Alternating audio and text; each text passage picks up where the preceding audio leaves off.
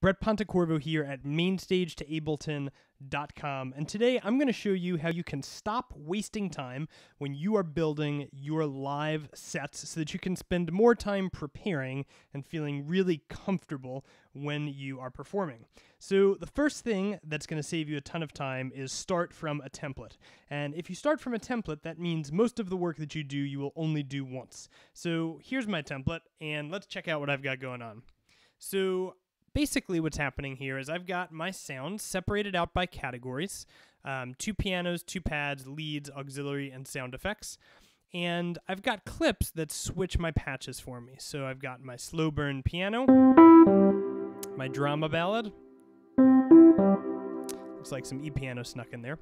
And then on the end of every chain, you'll notice I've got um, an audio effects rack so that I'm able to easily alter the sound. So, for example, if I am playing a pad sound, perhaps I'm playing the fine tapestry sound. I can easily filter down,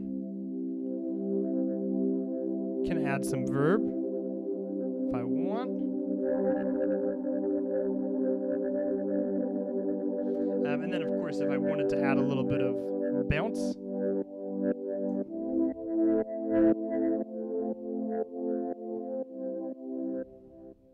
And that's already built into my template. So I have that ability every single time I open this up, and I don't have to program. It's just there. How wonderful is that?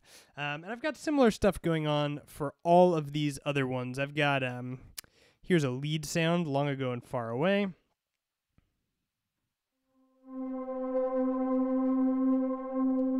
Where I've got a filter here. I've got the ability to add some distortion.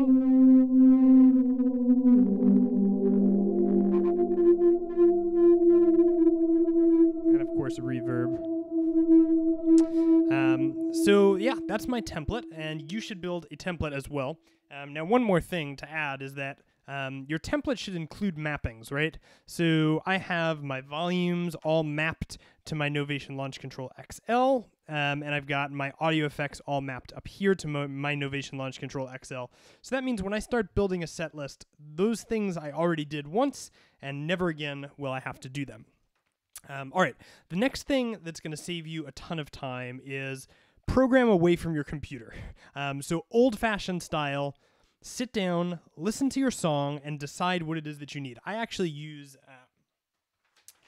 Actually use this, um, and I'm sure that it's difficult for you to see from over there, but I'll put it up on the screen. Um, and I just listened through and I'll write down, oh, um, for my song form intro, it's piano pad with a synth arp. And then when I go to the verse, it comes down to strings and piano. And I lay it out on here. And what this does is it doesn't tempt me to start fiddling with my sounds when I'm programming. So this helps us do one thing at a time. Um, and then when you sit down in Ableton, you're just able to drop your clips on the Ableton grid the same way that you did on here. So just a quick demo on that. Um, up here, I've got all of my sounds, right? Um,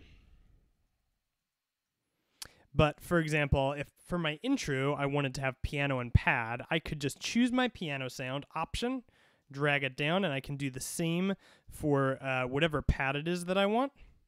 And then when I fire this scene,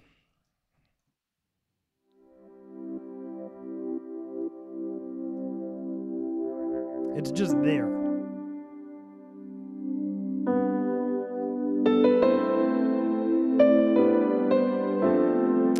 And if I wanted my next section to be a different piano sound, and maybe I've got strings that come in as well, and a much larger sounding pad, then I could just fire the next one and I'm there. And I can just move through my stuff really quickly um, just by dragging clips. So I don't have to think about any of it. I just lay them down. So all of my work was done away from the computer. And then when I'm programming, I'm just programming and I am ready to program.